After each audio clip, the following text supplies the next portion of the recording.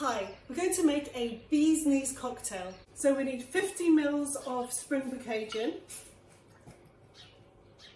into the cocktail shaker. And then we need 20 mils of lemon juice.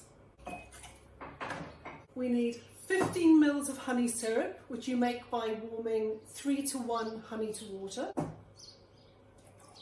And then you need 10 mils of orange juice. Add ice to your cocktail shaker.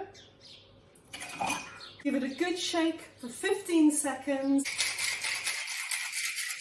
Double strain into a cocktail glass, coupe, and then finally garnish with a little bit of lemon peel or twist. A toast to someone who's the bee's knees in your life.